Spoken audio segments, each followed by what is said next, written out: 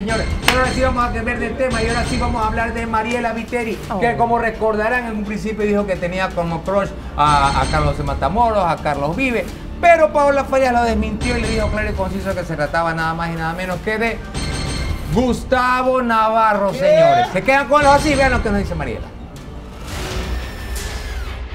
Mis amigos de la contra, mi querida Mariela, usted nos dejó con el ojo así, porque recuerda esas declaraciones con Carlos José y que no sé cuánto. Me acuerdo, me acuerdo. Por ahí saltó Paola Farías y dijo bien claramente que sabía la verdad y que usted había mentido. ¿Por qué? Porque supuestamente usted le había dicho que el amor de su vida había sido Gustavo Navarro. Imagínate, amor de la vida. No, por favor, auxilio. No, no, no, fue mi crush cuando recién entramos a la televisión. ¿Le gustaba Gustavo? Claro, porque te- los dos estábamos en cable. Él hacía un programa de béisbol porque era beisbolista.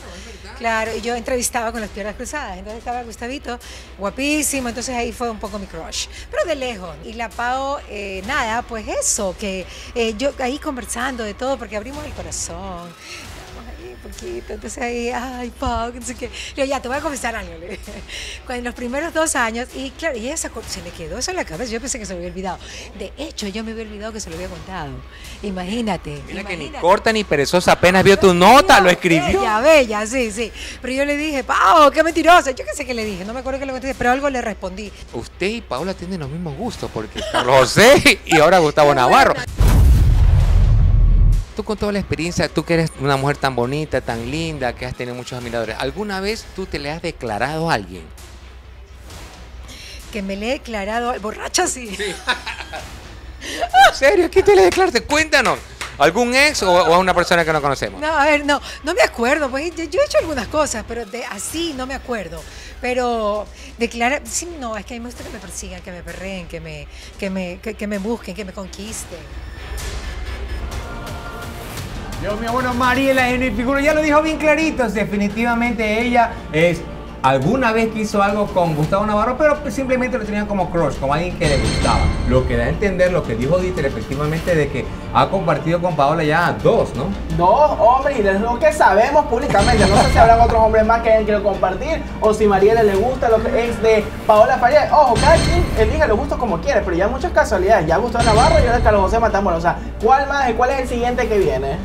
Lo cierto es que entrevistar a Mariela siempre es una grata entrevista, siempre es Una caja de sacar una caja de Pandora y siempre con esa sonrisa, con lo que dice todo, como que lo deja, será verdad, será mentira, se está riendo, es una burla, es, es algo increíble y nos da este tipo de contenidos en el que podemos refrescar también y no hacer tanta polémica, pero que suena interesante, ¿no? Porque imagínate qué hubiera pasado si se hubiera dado ese, ese encuentro, ¿no? Claro. Ese romance entre una Mariela Viteri y un Gustavo Navarro. Entonces quizás el romance con la niñera ni hubiera existido. Bueno, la verdad que a mí toda la vida Gustavo Navarro me pareció un hombre hermoso, pese a los años que ya, ya los tiene encima. No sé si le haces. No es que le hago, por Dios, Ya no, también antes tú. sí. Ah, antes sí, ahora Antes no. sí, ya no, ya no. ¿Y Carlos José? Carlos José Matamoros. ¿O ya lo hiciste? No, uy, usted. Pregunto, yo solo No pregunto me des la contra. Pues no me des la contra. doy la recontra. No, no, no, pero con Carlos José no, somos súper amigos. Amigos. Súper amigos, ajá. Bueno, en todo Amigos, caso, para ellos, amigos y nada más. Bueno, para gustos y colores, para todo hay, señores, no discuten los doctores. En todo caso, pues si le gusta y le gusta a la misma persona, es factible, es comprensible en su momento, ¿no? A ver qué es lo que va a pasar entre los dos.